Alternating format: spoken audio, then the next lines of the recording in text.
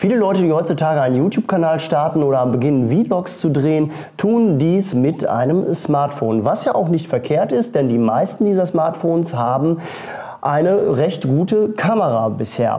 Wie ihr aber und mit welchen Kameras ihr eure Bildqualität und mit welchem Equipment ihr auch eure Tonqualität steigern könnt, das verrate ich euch heute. Ich habe Kaffee, let's go!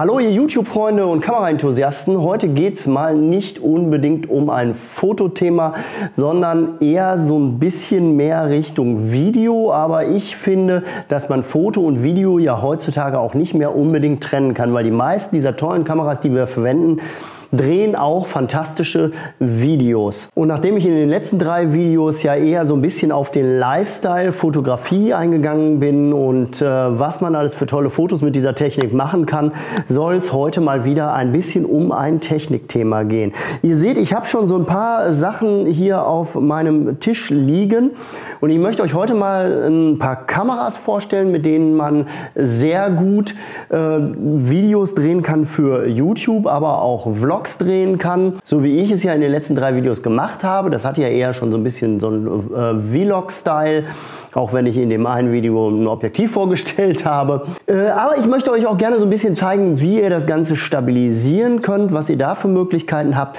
und wie ihr gegebenenfalls einen vernünftigen Ton hinbekommt. Wie eingangs schon erwähnt, drehen viele Leute ja sehr viel mit ihrem Handy, ich auch.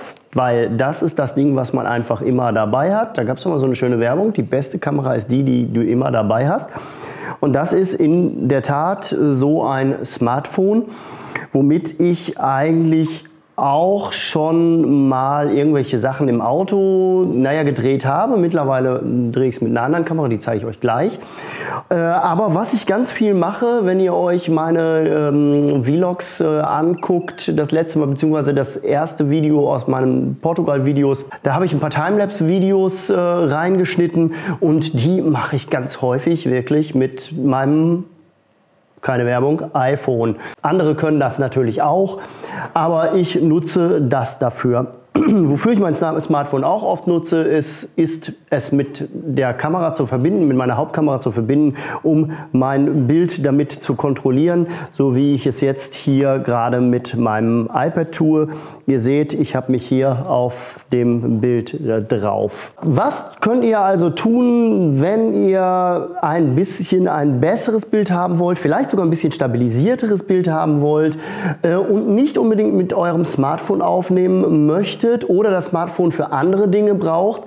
dann äh, kann ich euch eine ganz, ganz tolle Kamera ähm, empfehlen und das ist die kleinste. Mit der fangen wir gleich mal an. So, natürlich könnt ihr auch mit der GoPro anfangen. Ähm, allerdings finde ich, GoPros haben immer so ein bisschen zu viel äh, Verzerrung. Dann gibt es ja, oder gab es, die gibt es nicht mehr von äh, Canon, diese Legria.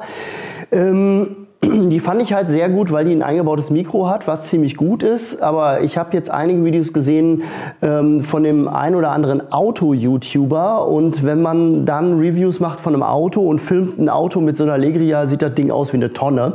Und das sieht, ist nicht so schön. Ich habe, das geht jetzt hier schon mal wieder aus, als Actioncam oder statt einer Actioncam habe ich, den habe ich ja auch schon mal vorgestellt, den DJI Osmo Pocket. Und das Ding benutze ich wirklich sehr, sehr, sehr häufig. Ihr seht, hier ist auch auf der Rückseite ein kleines Display drauf.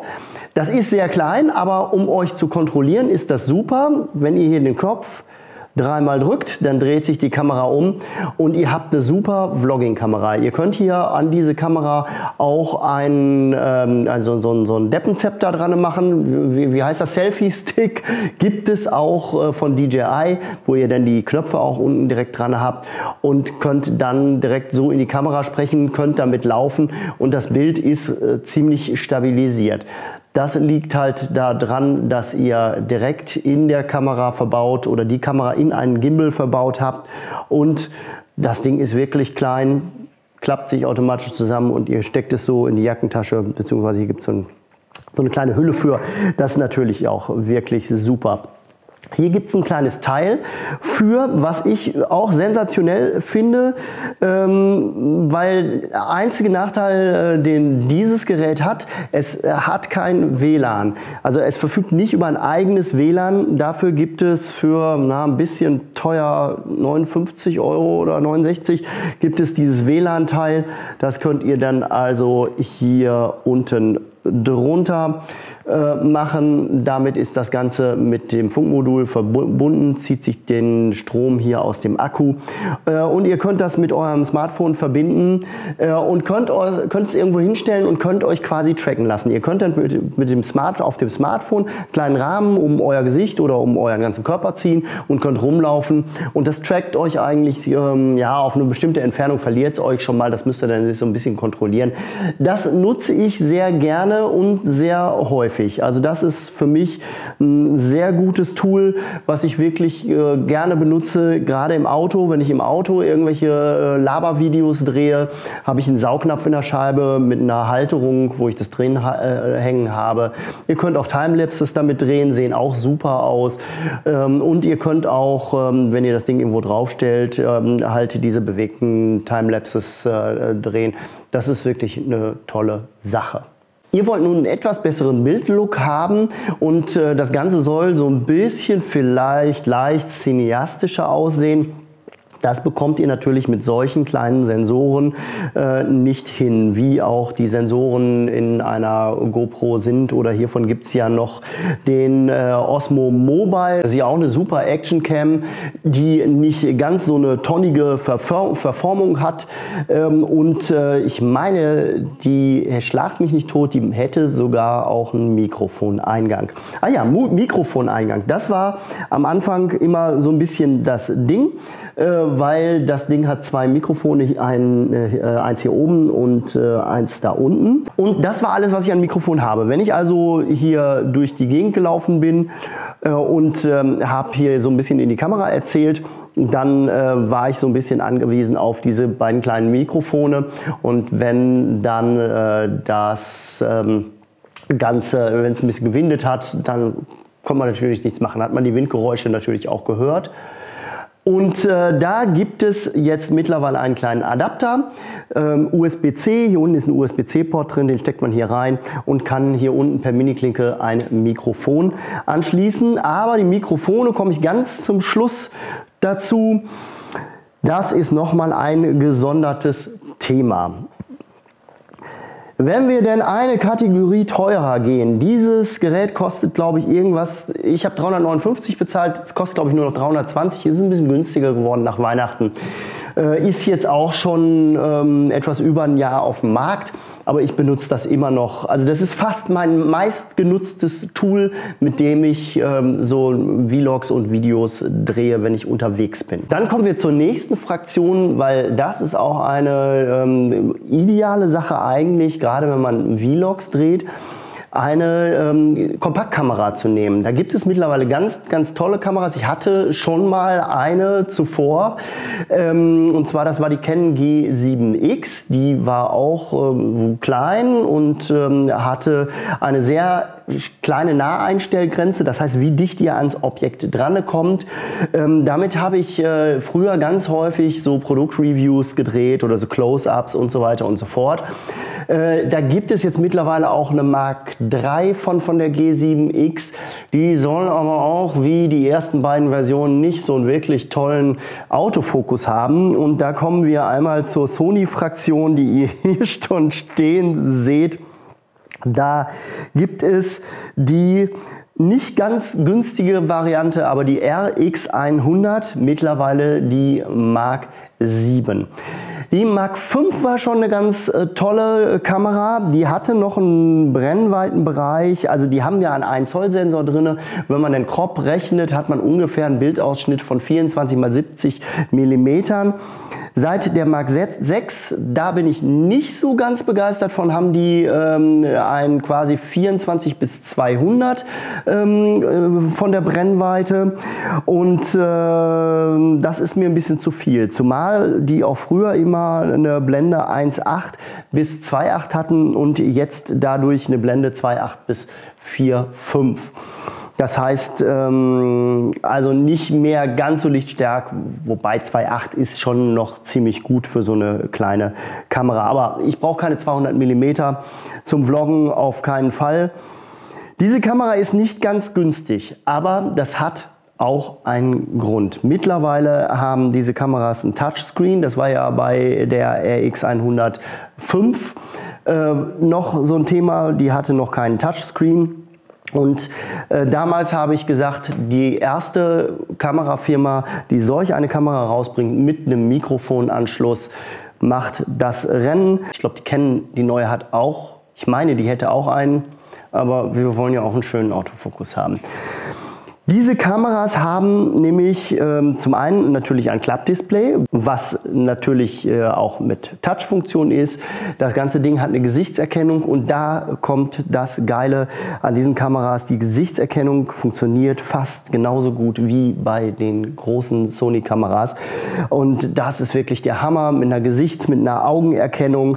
Und das ähm, verbunden mit dem äh, Tonanschluss, mit dem Mini-Klinke-Anschluss für ein Mikrofon. Da kann man eigentlich im Moment nichts verkehrt machen. Diese Kamera ist komplett manuell einstellbar. Das ist das Pendant von Canon natürlich auch. Es gibt, glaube ich, gibt's auch so, es gibt auch sowas von Panasonic, glaube ich, auch in einem ähnlichen Preisbereich äh, wie die Canon.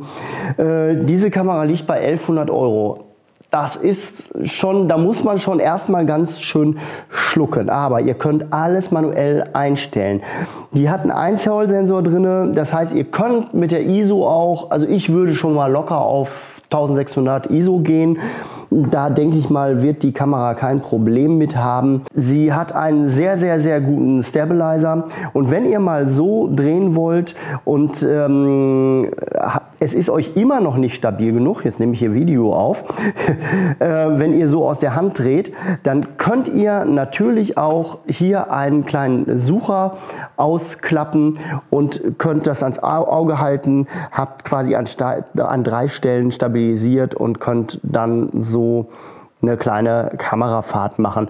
Das finde ich eigentlich ziemlich gut. Also das ist auch gerade, wenn, wenn ihr irgendwo unterwegs seid, wo wirklich krass die Sonne scheint äh, und äh, dann seht ihr oft auf diesen Displays nicht mehr so viel. Ihr könnt euch hier Tasten frei belegen. Ihr könnt hier äh, diesen Ring frei belegen, ob ihr hier die Blende drauf haben wollt, ob ihr die ISO drauf haben wollt, ob ihr die Schärfe drauf haben wollt. Weil wenn ihr manuell fokussieren wollt, auch das geht mit solch einer Kamera, dann könnt ihr das natürlich hier mit diesem Ring auch gerne tun. Aber ich überlege, ob ich zu der Kamera nochmal ein extra Video mache, weil die Kamera begeistert mich momentan wirklich sehr. Davon gibt es eine kleine Abwandlung, beziehungsweise ähm, die Familie, die RX-Familie geht ein Stückchen weiter. Denn bereits vor zwei oder vor drei Jahren hat Sony eine RX0 auf den Markt geworfen die jetzt einen Nachfolger hat seit ungefähr einem Jahr, die RX0 Mark II, die jetzt auch ein Klappdisplay bekommen hat, immer noch komplett wasserdicht ist mit einem 24 mm Objektiv, einem 1 Zoll Sensor drin und einer feststehenden Blende 4. Diese Kamera ist wirklich super, weil die ist wirklich sehr robust, sehr stoßfest. Also wenn ihr das Ding in die Hand nehmt, dann habt ihr auch schon wirklich Qualität in der Hand. Ähm, ihr habt ein Klappdisplay und jetzt kommt der Knaller. Ihr habt einen Mikrofonanschluss. Allerdings Kleiner Wermutstropfen, wenn ihr den Mikrofonanschluss nutzt, müsst ihr hinten die Abdeckung aufmachen und damit ist die Kamera nicht mehr wasserdicht. Ich habe ein paar äh, Videos damit äh, gedreht. Ich wollte eigentlich letztes Jahr ein Review über die Kamera machen. Allerdings ähm, hatte ich sie nur für zwei Stunden und ich hatte meine Brille nicht dabei. Und da kommt äh, der kleine Nachteil. Man kann dieses Display wirklich, also wenn man nicht so gut sieht, nur mit Brille lesen, wenn man es überhaupt lesen kann. Und so für alte Leute wie mich wird das dann wirklich schon ohne Brille schwierig. Ansonsten bietet so eine kleine Kamera eine sehr sehr, gute Bildqualität und äh, ihr könnt eine ganze Menge damit machen, gerade wenn ihr unterwegs seid, wenn ihr am Meer unterwegs seid, wenn ihr segeln geht, Wassersport macht. Die Kamera ist wirklich wasserdicht. Ich blende euch mal ein paar Bilder davon ein, was ich damit schon gemacht habe. Äh, die werde ich ja für mein Review sowieso nicht mehr verwenden. Und ihr könnt auch bei dieser Kamera alles manuell einstellen. Und diese beiden Kameras, und das finde ich auch bemerkenswert, haben komplett das Menü der größere, größeren Sony-Kameras übernommen. Natürlich habe ich hier jetzt fast nur Sony-Kameras auf dem Tisch. Das liegt daran, dass ich hier so einiges zur Verfügung gestellt äh, bekommen habe im Hinblick der Sony Alpha Days, die ja in den nächsten Wochen jetzt in verschiedenen Städten stattfinden, wo ich auch zugegen sein werde und so ein bisschen über das Thema Vlogging auch äh, beraten kann. Aber es sei gesagt, es gibt natürlich auch noch andere äh, tolle Kameras. Allerdings hat Sony in dem Bereich äh, gerade für Videoleute, äh, Filmer, YouTuber, kręciła vloga in letzter Zeit sehr viel richtig gemacht. Unter anderem auch mit solch einer Kamera hier. Das ist die A6400, die hatte ich ja auch schon mal hier auf dem Tisch, allerdings ähm, mit anderen Objektiven. Jetzt habe ich hier ein 10 bis 18 mm mit Crop entspricht dann ungefähr einem Bildausschnitt ähm, von 15 bis 28 mm und das ist schon wirklich weitwinklig. Ihr solltet ein bisschen darauf achten, gerade speziell, wenn ihr Vlogs macht, braucht ihr ein etwas weitwinkligeres Objektiv, weil wenn ihr euch selber filmt, dann äh, müsst ihr natürlich, äh, wollt ihr natürlich die Kamera nicht so weit weghalten. Zu den Stabilisierungen und ähm, wie man diese Kamera hält, da kommen wir gleich noch so ein bisschen zu. Aber ihr wollt natürlich nicht so einen Kilometer langen, vielleicht habt ihr auch gar nicht so einen langen Arm. Deswegen ist ein etwas weitwinkligeres Objektiv von Vorteil. Allerdings nicht zu weitwinklig, sonst sieht euer Kopf aus wie aus einem Comic. Wenn ihr also eine Kamera mit Wechselobjektiv bevorzugt und noch nicht so viel Geld ausgeben möchtet, dann gibt es dort eine Lösung äh, wie zum Beispiel diese A6400 und ähm, mit diesem 10 bis 18 mm Objektiv, das hat eine feststehende Blende von f4. Das heißt, wenn ihr ranzoomt, geht die Blende nicht zu. Wenn ihr günstigere Objektive, wie hier, wo habe ich es, das Kit-Objektiv äh, habt, das ist ein ähm, 16 bis 50 mm und das hat eine Blende 3,5 bis 5,6. Ähm, das bedeutet, wenn ihr äh, zoomt, dann äh, geht die Blende zu. Also wenn ihr die ganz offen habt, die Blende, hier sprich ähm, 3,5, dann äh, geht die mit dem Ranzoomen zu. Das Schöne bei diesem Objektiv finde ich gerade für Video, dass hier so eine kleine Zoom-Wippe dran ist. Das finde ich sehr nice. Vorteil von solchen Systemkameras ist natürlich, dass ihr euer Objektiv wechseln könnt, dass ihr auch andere Objektive, wenn ihr später mal ein bisschen mehr Geld habt, dass ihr euch auch mal ein besseres Objektiv dazu kaufen könnt, mit einer größeren Blendenöffnung wie eine 1.4 oder eine 1.8 oder ein Zoom mit einer durchgängigen 2.8er Lichtstärke, die dann natürlich ein bisschen größer sind. Äh, die Festbrennweiten gehen, also gerade im 1.8er Bereich da äh, habt ihr nicht so viel Glas äh, dann. Ansonsten habe ich zu dieser 6000er Serie, zu der aktuellen ja auch schon mal ein Video gemacht. Das zeige ich euch hier mal und äh, das könnt ihr euch dann mal anschauen. Ich will jetzt nicht so sehr auf die Geräte eingehen. Vorteil ist ganz einfach, ihr habt hier schon sehr viel Technik drin.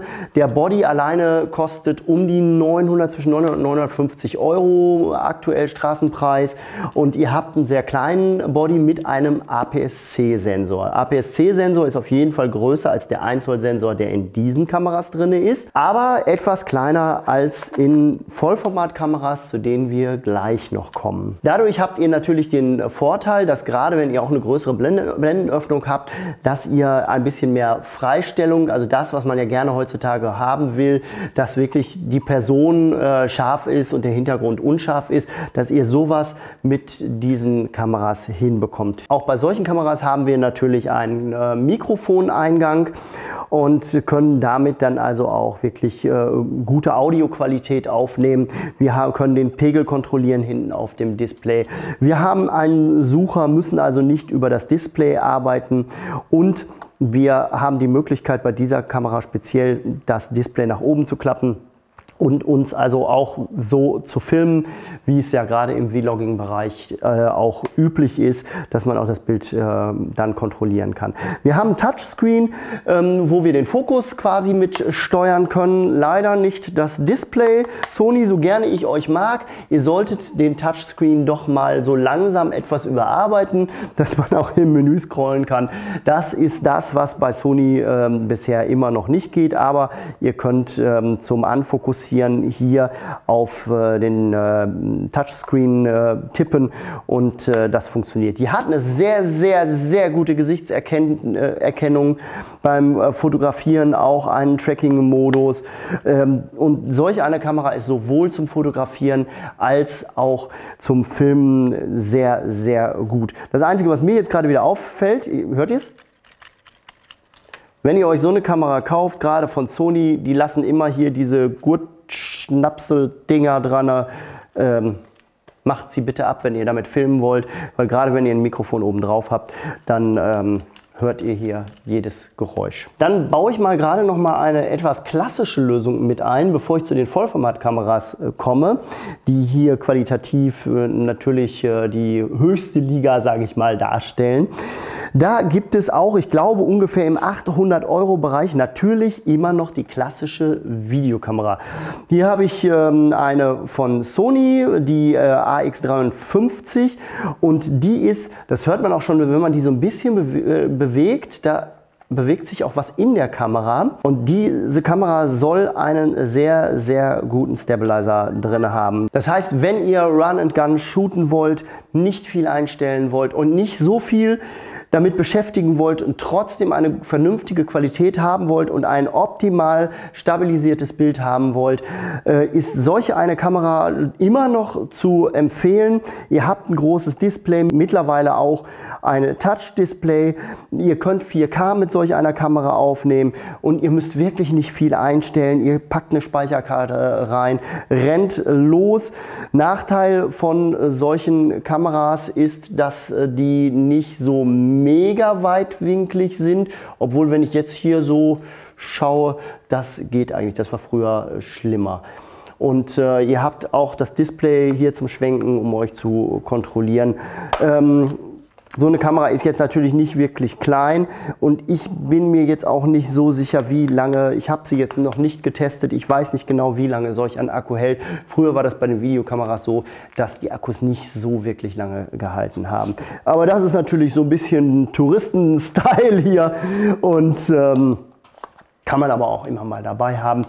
Ganz äh, abschreiben würde ich sie nicht, also gerade speziell, wenn ihr nicht fotografiert, dann äh, kann man sowas immer noch nehmen. Bei mir ist ja die Sache, dass eine Kamera nicht nur für mich zum Videofilmen oder zum Fotografieren ist, sondern für beides.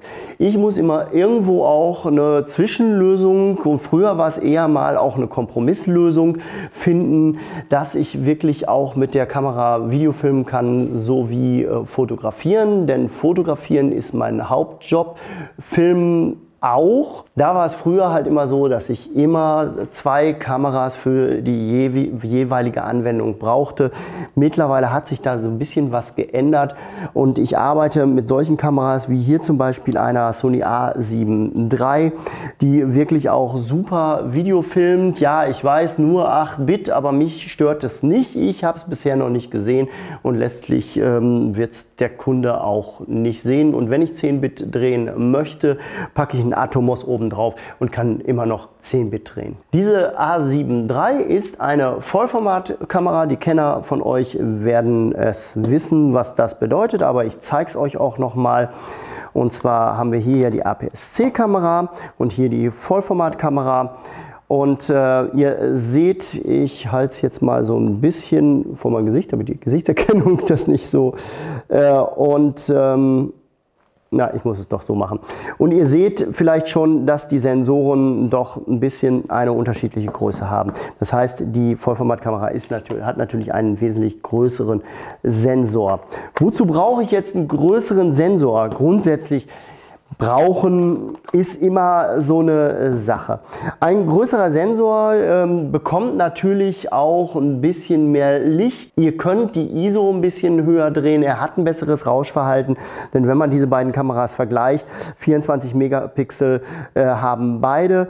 Und äh, wenn dann äh, beide mit dem kleinen Sensor und mit dem großen Sensor äh, mit der gleichen ISO wird, natürlich äh, habt ihr eine wesentlich höhere Pixeldichte mit dem kleineren Sensor, wobei das mittlerweile auch schon wirklich gut geworden ist, auch bei den APS-C-Sensoren. Im Weitwinkelbereich ist es bei den Vollformatkameras ein bisschen vorteilhafter. Ich habe hier jetzt zum Beispiel 28 mm drauf. Ihr seht, wie schön klein dieses Objektiv ist. Das nutze ich auf der Kamera eigentlich sehr, sehr viel, gerade zum Videofilmen. Und ähm, da ist es im APS-C-Bereich schon so ein bisschen anders, denn ihr habt einen Crop-Faktor von 1,5. Das heißt, wenn ihr hier mit 18 mm äh, filmt oder fotografiert, dann müsst ihr die 18 mm mal 1,5 rechnen. Das heißt, 18 mm wären in dem Fall 28, 27, 28 mm, äh, beziehungsweise 10 mm sind dann 15 mm. Wenn ihr solch ein Objektiv auf einer Vollformatkamera habt, ist, sind 10 mm auch wirklich 10 mm, das heißt, ihr habt darauf einen Ultraweitwinkel. Zudem hat diese Kamera jetzt auch einen stabilisierten Sensor, das hat die A6400 nicht. Wenn ihr das bei so einer kleinen Kamera haben wollt, dann müsst ihr zu der A6600 oder eine ältere A6500 gehen, dann habt ihr auch einen stabilisierten Sensor. Aber wir haben hier genauso auch die Gesichtserkennung äh, drin, den Augenautofokus, der allerdings hier bei dieser Kamera Kamera nur für äh, Foto funktioniert und noch nicht für Video. Die neueren Modelle ab der A7R4 haben dann einen Augenautofokus für Video. Solche oder ähnliche Modelle gibt es natürlich auch immer von anderen Marken. Das möchte ich dazu sagen. Das ist kein Sony-Werbevideo. Ich habe halt nur die Sony-Produkte jetzt gerade hier liegen. Auch hier gilt natürlich, ich habe eine sehr, sehr große Auswahl von Objektiven. Hier steht zum Beispiel gerade mein 55 mm 1.8 und äh, da auf der Kamera habe ich 35 mm mit einer offenen Blende 1.4 zum Beispiel und damit könnt ihr natürlich schon wirklich sehr schöne, sehr cineastische Aufnahmen machen.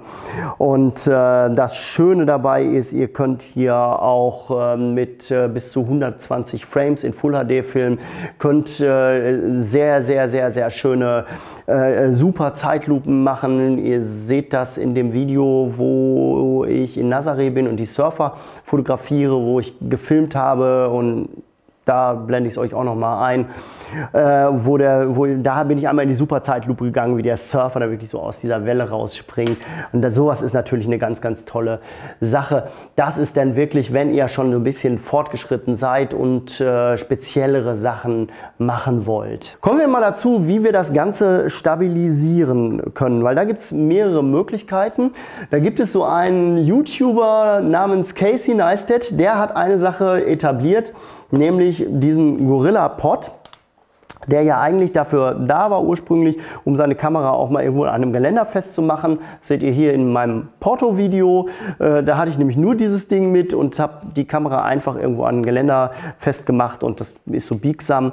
Und der hat sich einfach diese, der Casey hat sich einfach dieses, dieses, äh, diesen Gorilla-Pod vor zig Jahren schon genommen, hat die Kamera hier drauf geschraubt und das hätte ich eigentlich auch schon mal machen können. Ne? Ich empfehle euch, wenn ihr äh, Stative benutzt, immer Münzen dabei zu haben, gerade bei dem Gorilla Pod.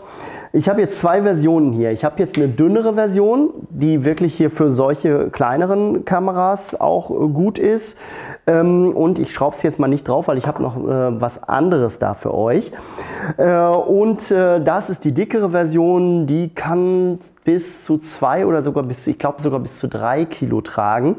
Und die habe ich mir, das Ding habe ich mir natürlich gekauft für meine etwas größeren Kameras. Ähm, die sind aber auch ein bisschen robuster, weil das ist schon sehr dünn und ich habe einen Kopf drauf mit einer Stativplatte. Ähm, hier muss man die Kamera direkt auf den äh, Stativkopf schrauben.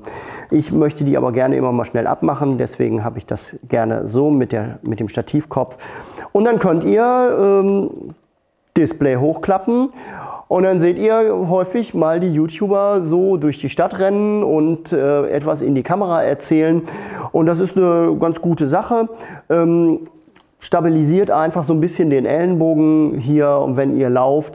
Ähm, das Wichtige ist, wenn ihr jetzt eine A6400 oder eine A6100 holt äh, oder eine ältere A6300 natürlich auch, ähm, die hat keinen stabilisierten Sensor, ähm, holt euch dann noch ein stabilisiertes Objektiv dazu. Das ist auf jeden Fall eine sehr angenehme Sache und es ist besser, als wenn ihr die Kamera immer so halten äh, müsst. Das ist bei so einer kleinen Kamera okay. Diese ist halt schon gerade auch aufgrund der Optik ein bisschen schwerer.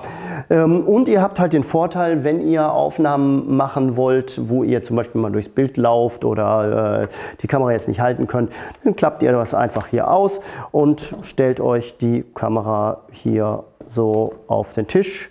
Man kann die dann hier schön mit diesem Stativkopf noch ein bisschen ausrichten. Das ist hier unten, die hat so Gummifüße und dann steht das eigentlich das ist ähm, eine tolle Sache. Da gibt es aber jetzt speziell von Sony noch mal eine Sache, die mich echt begeistert hat. Ich wusste, dass es das gibt, aber ich habe es noch nicht ausprobiert. Und zwar gibt es hier einen Griff, der Bluetooth-fähig ist. Das heißt, ihr könnt die Kamera hier drunter schrauben und habt hier an der Stelle ähm, habt ihr gleich eure Bedienelemente. Ihr könnt äh, irgendwie Fotos machen, ihr könnt äh, Movie auslösen. Ihr habt hier äh, eine Taste, die ihr frei belegen könnt und ihr könnt zoomen hiermit. Das geht natürlich hauptsächlich für diese Kameras, die auch einen elektronischen Zoom haben. Ich müsste mal ausprobieren, ob es für dieses Objektiv geht, weil das hat ja auch einen elektronischen Zoom. Ich habe es bisher nur an äh, der RX100 ausprobiert und das funktionierte auch äh, schon ziemlich cool. Und ähm, es ist nicht so lang wie, wie so ein Gorilla-Pod jetzt hier, aber ihr könnt dann auch wirklich, ich klappe jetzt mal wieder hier das Display aus, Akku ist erschöpft, super. Ähm, und äh, könnt also auch euch hier super sehen, könnt die Kamera hier bedienen, könnt vielleicht ein bisschen ranzoomen oder ein bisschen rauszoomen. Und das Schöne bei der ganzen Sache ist, Ihr könnt hier unten das ausklappen und könnt die Kamera auch einfach mal irgendwo hinstellen oder wenn ihr jetzt hier am Tisch sitzt, stellt ihr die Kamera so vor euch und filmt euch einfach. Ist natürlich eine nicht ganz so preisgünstige Sache. Dieser Griff kostet, ich meine sogar an die 200 Euro. Guckt mal im Netz. Äh, dafür habt ihr natürlich ein schönes Stück Elektronik. Wahrscheinlich bekommt man den auch irgendwo günstiger. Also der mit ähm, Kabel, es gibt so einen auch nochmal mit Kabel, dass man den äh, dann mit dem Kabel äh, mit der Kamera verbindet. Und äh, der kostet um die 100 Euro. Und ich meine, ich hätte gesehen, dieser hier kostet um die 200 Euro. Also ihr habt euch, hier ist auch ein Knopf, dass man hier die, die, äh, den Kopf hier so ein bisschen bewegen kann. Und äh, hier kann man das so ein bisschen einstellen, ein bisschen stärker und ein bisschen schwächer. Also tolle Sache. Dann habe ich noch eine Sache, die ich speziell für Videoproduktionen sehr, sehr häufig benutze. Natürlich habe ich auch einen großen Gimbal, aber rein für Vlogs ähm, empfehle ich euch nicht unbedingt so mit dem Gimbal rumzulaufen und euch selber zu filmen. Ihr habt natürlich super die Kamera stabilisiert, aber das ist auf die Dauer dann auch schon wirklich schwer. Wenn ihr natürlich jetzt hier Bodybuilder seid, Sport-YouTuber oder so, äh, dann äh, ist das äh, vielleicht für euch kein Problem. Ich finde es auf die Dauer ein bisschen schwer und ähm, nehme für solche Sachen eigentlich nicht den Gimbal. Den Gimbal habe ich dann wirklich für Videoproduktionen wo ich dann wirklich auch mal eine stabilisierte Kamerafahrt mache, die dann aber nicht länger als eine Minute, zwei, drei oder ein paar Minuten geht.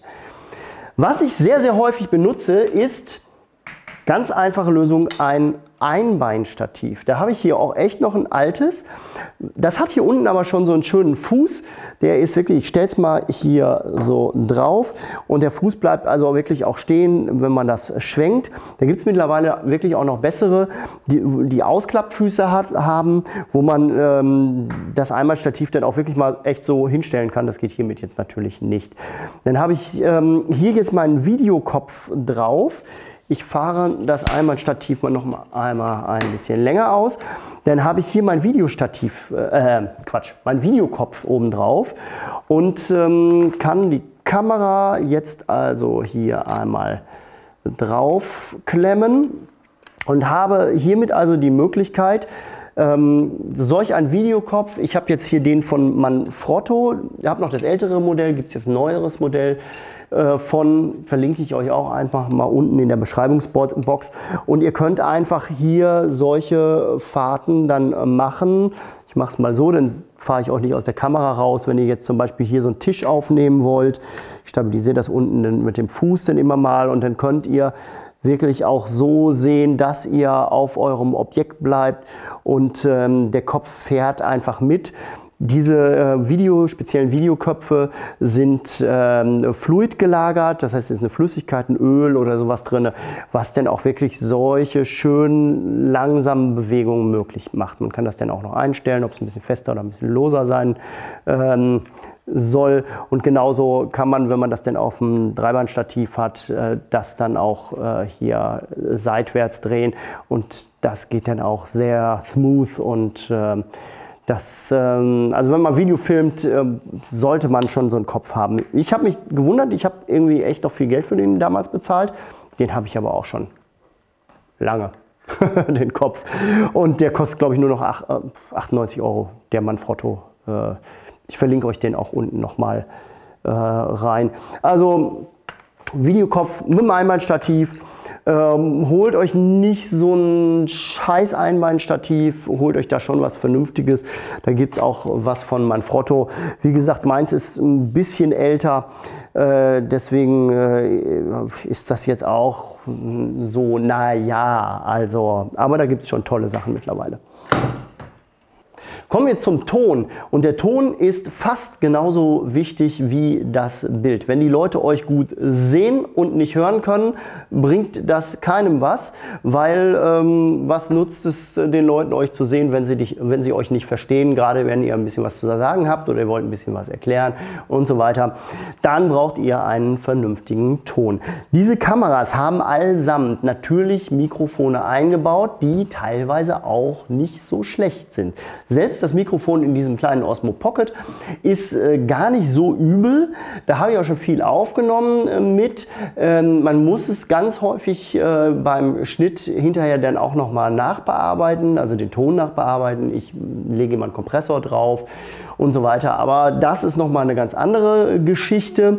Äh, selbst hier ist eine kleine Kamera bei, wobei man wirklich sagen muss, wenn ihr mit der Kamera unter Wasser wart, ist ähm, dieses kleine Mikrofon erstmal verstopft. Genauso ist es, wenn ihr mit dem Smartphone, die ja auch mittlerweile häufig wasserdicht sind, unter Wasser geht, dann äh, müsst ihr, da gibt es eine App übrigens für, das blende ich euch dann auch nochmal ein, da kann man eine Frequenz durchschicken, denn ähm, dann pustet der quasi über diese Frequenz das ganze Wasser aus dem Smartphone raus. Wenn wir hier zum Beispiel bei der RX100 Mark IV äh, sehen, da sind die Mikrofone, das ist natürlich Stereo-Mikrofon rechts und links und äh, die sind halt hier oben. Das hatte ich bei der Canon auch, die lagen da aber ein bisschen dichter zusammen, weil die Canon hier keinen Sucher hatte. Da war der kleine Blitz äh, an der Seite und dann habe ich mir hier so einen ähm, kleinen Pelz drüber gemacht mit Klittverschluss, dass man die Windgeräusche halt nicht hörte. Das sind die Nachteile, wenn man diese Mikrofone halt nutzt. Sobald es ein bisschen weniger wird, hört ihr immer und das will eigentlich kein Mensch hören, das nervt eigentlich nur und das hat man beim Handy genauso. Aber ihr könnt mittlerweile am Handy auch Mikrofone anschließen. Und äh, da zeige ich euch gleich nochmal so ein paar. Also die Kameras haben natürlich alle in, äh, eingebaute Mikrofone. Solch eine Videokamera hat ein äh, etwas größeres eingebautes Mikrofon, hat auch ein bisschen mehr Platz. Und hier sind diese standard kleinen Mikrofone, wo ihr dann halt immer nur diese kleinen Löcher habt klingt aber meistens auch nicht so schlecht heutzutage. Was könnt ihr also machen, damit es besser klingt? Ich habe hier mal eins, das habe ich nämlich gerade hier liegen. Normalerweise habe ich auch das äh, Rode Video-Mic noch, ist ungefähr die Größe, ein bisschen größer sogar. Ähm, die sind hier so ein bisschen stabilisiert auch schon, damit man keine Geräusche hört von der Bewegung. Da ist so eine Art Spinne nennt man das ähm, drinne. Das ist so ein bisschen Gummi gelagert und äh, dann hört man halt keine Bewegungsgeräusche in äh, diesen Mikrofonen. Das sind Richtrohrmikrofone. Wenn ihr solch ein Mikrofon also auf die Kamera steckt und hier anschließt. Dieses muss man wirklich noch per Kabel anschließen. Da gibt es von Sony aber auch Lösungen, äh, die hier über den Hotshoe ähm, dann äh, connected werden, dass ihr hier kein Kabel anschließen müsst. Und ähm, dann habt ihr natürlich den Nachteil, dass ihr euch nicht mehr so richtig auf dem Display sieht. so ein bisschen. Also ihr könnt natürlich äh, so da reinsprechen. Äh, diese Richtraummikrofone nehmen alles auf, was direkt auf sie zukommt. Ihr könnt auch ein bisschen weiter weggehen. Das ist eigentlich ziemlich gut. Wenn ihr jetzt einen Interviewpartner habt, der neben euch steht, dann macht ihr das ungefähr so ein bisschen äh, so in die Mitte oder schwenkt so, immer so ein bisschen leicht hin, hin und her. Da gibt es auch die Richtraummikrofone, die man auch in der Hand halten kann. Da kann man dann auch schön Interviews machen. Aber aber die sind halt wirklich gerichtet, da kommt der Ton wirklich ähm, direkt aus äh, der Richtung in das Mikrofon äh, rein. Äh, ihr seht schon, hier ist so ein kleines Plüschtier ähm, schon drüber gezogen. Oft ist es meist nur ein Schaumstoff der halt äh, ab Werk mitkommt. Hier ist schon so, ein, so, eine kleine Dead Cat, so eine kleine tote Katze oder ich sage dazu Zwelch drüber gezogen. Das ist, um Windgeräusche zu minimieren und das funktioniert in der Regel auch wirklich sehr, sehr, sehr gut. Ähm, da fängt sich der Wind halt eher in diesen Haaren und äh, wird nicht auf das Mikrofon übertragen. Und das kann ich euch wirklich immer empfehlen, wenn ihr draußen seid. Ihr habt gehört, ähm, als ich äh, in Portugal war und die Surfer fotografiert fotografiert habe, da hört man bei den meisten Aufnahmen keine Windgeräusche, außer als der Akku von meinem Mikrofon leer war und ich nur hier wirklich mit dem Osmo Pocket über die eingebauten Mikrofone aufgenommen habe. Da gibt es also, wie gesagt, äh, hier auch eine Lösung von Sony. Ich muss ganz ehrlicherweise sagen, ich habe das noch nicht getestet. Ich gehe einfach mal davon aus, dass das in Ordnung ist oder dass es gut ist. Äh, ich habe was ähnliches von Rode. Da gibt es das VideoMic Pro für um die 100 Euro. Das kann ich euch sehr empfehlen oder sogar unter 100 Euro mittlerweile. Das habe ich immer noch, weil ich die Qualität wirklich gut finde. Aber das ist halt recht groß. Dann gibt es ein VideoMic Pro. Das ist ein bisschen kleiner, kostet aber so 180 Euro. Ist denn aber nur noch so lang. Das ist auch irgendwie eine ganz, ganz tolle Sache. Aber Ton ist auch nicht wirklich günstig. Den Preis von diesem weiß ich jetzt leider nicht. Dann habe ich noch eine andere Lösung. Also bisher habe ich äh, sehr, sehr häufig mit diesen Geräten aufgenommen. Da habe ich hier, seht ihr, so ein kleines Mikrofon. Könnt ihr das sehen? Hier habe ich so ein kleines Mikrofon. Das nennt sich Lavalier-Mikrofon. Aber diese Teile sind auch schon nicht so äh, klein. Ich habe hier dieses von Saramonic. Das ist so, boah, das kostet 100 Euro. Also 100 Euro ist für solch äh, eine Funkstrecke nicht viel Geld und es klingt halt auch nicht so toll. Ich habe dies jetzt benutzt, auch wieder, ich benutze das eigentlich gar nicht mehr mittlerweile, weil ich mir was Besseres gekauft habe. Das liegt jetzt allerdings hier auf dem Tisch, weil ich es euch zeigen wollte und weil der Akku leer war. Das ist das ähm, Wireless, Rode Wireless Go.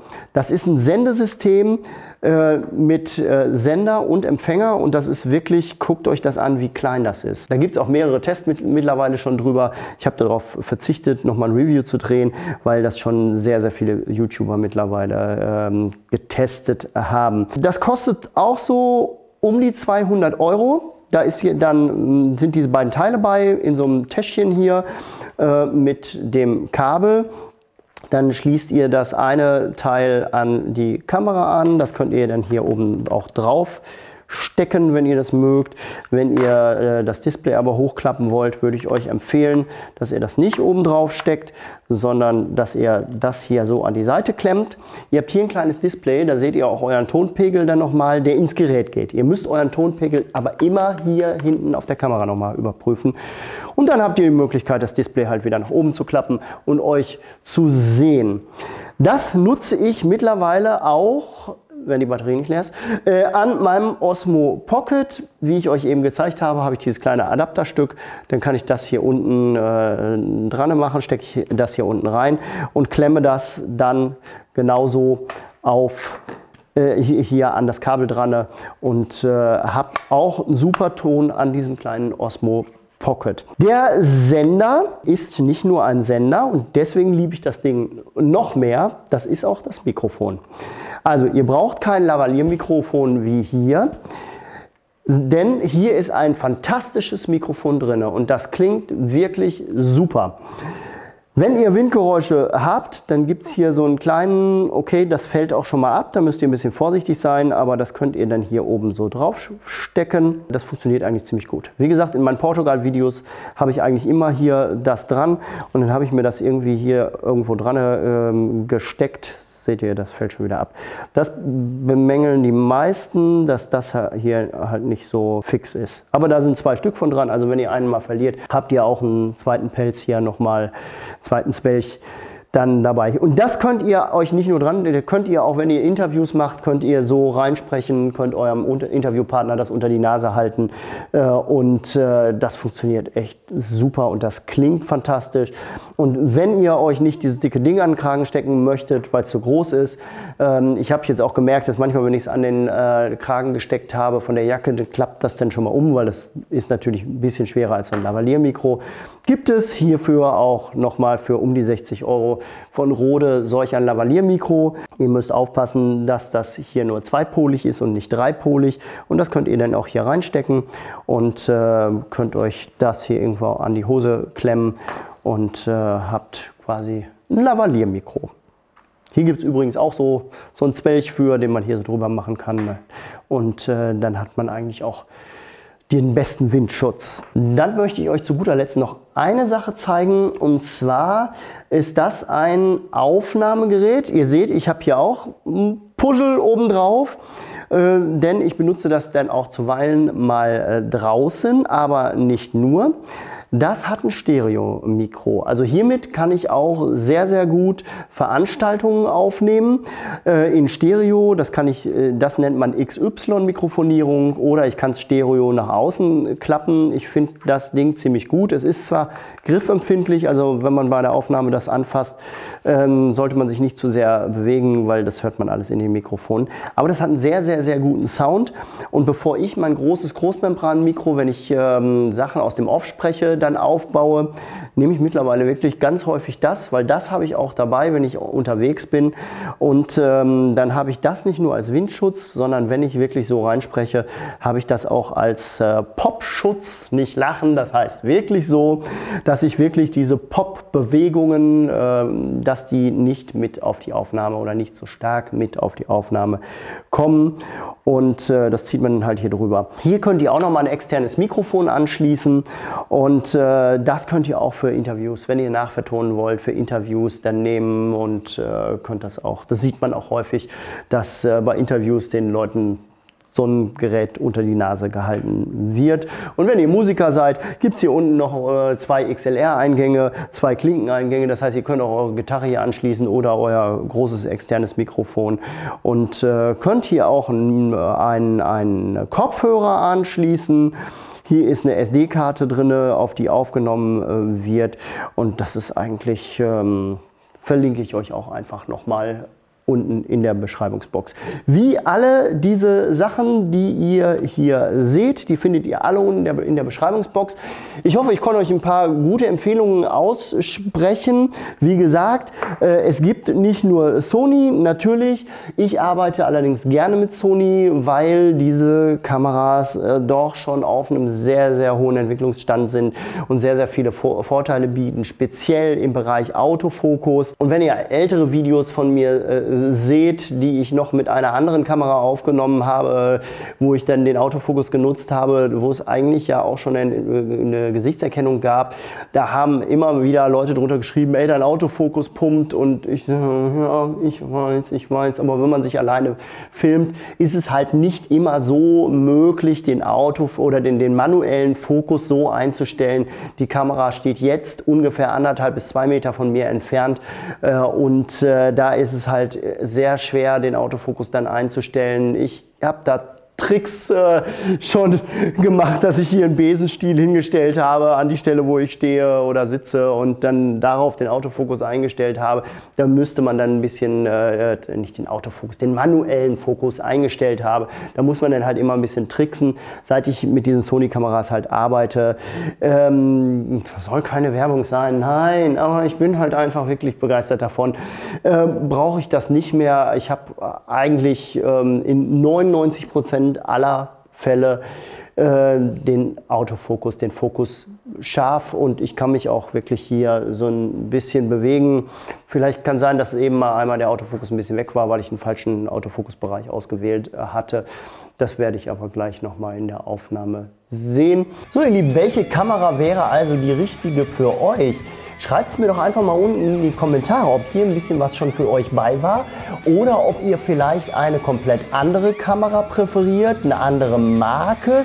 Denkt bitte immer daran, eine Kameramarke ist keine Religion. Jeder Fotograf, jeder Videofilmer braucht was anderes, hat andere Einsatzgebiete und braucht dafür andere Spezifikationen. Daher würde mich mal interessieren, was für euch das Richtige wäre, äh, wäre, worauf ihr Wert legt und was ihr habt, beziehungsweise was ihr euch vielleicht kaufen würdet. Ich hoffe, für euch waren ein paar nützliche Informationen dabei. Wenn ja und wenn ihr es noch nicht getan habt, abonniert gerne meinen Kanal, lasst mir gerne einen Daumen nach oben da. Wir sehen uns im nächsten Video. Tschüssi Kulowski.